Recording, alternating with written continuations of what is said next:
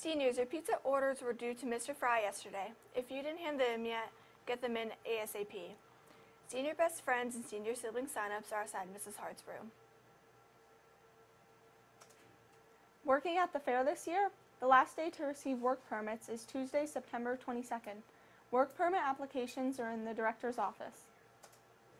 The Fun Fest is coming. This Friday from 3.30 to 8 p.m. There will be carnival games, hay rides, and of course food. This is open to everyone, not just FFA members. Come out to come out for some food and fun with the FFA. Just a reminder, the school store is open during lunches.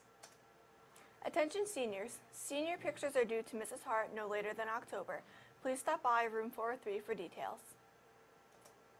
Today for lunch we have ribecue, Lebanon bologna sandwich, glazed carrots, watermelon juice, and milk.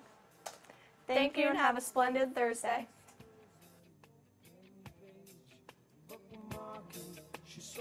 She's